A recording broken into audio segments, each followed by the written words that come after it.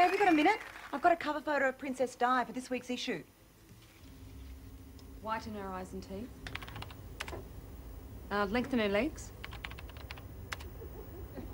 Give her a good tanner. God, she's gorgeous. And um, the photo of Fergie, Ken? Sure. Mm, can you widen her out a bit? Sure. Can that dress blow up? No, she's still too skinny. My hair's looking too good. Can you frump it up a bit? Give her some more freckles. God, she's got an ugly mug.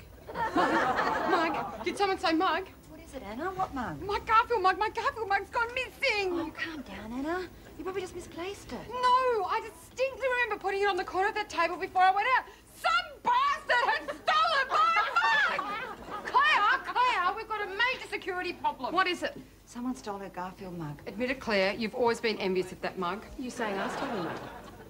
No, all I'm saying is that it was there and now it's gone. You draw your own conclusions. Is the office locked? Yes. My theory is that they came in through the window. Which is 50 feet off the ground and only opens four inches. Mm. So it means the person had to be pretty skinny. Jodie, where were you at the time? Anna, I was with you.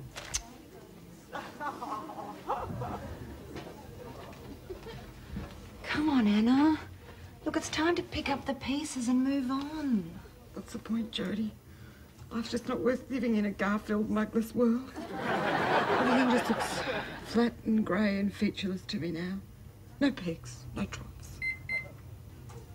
What's my sewing in? Hang on.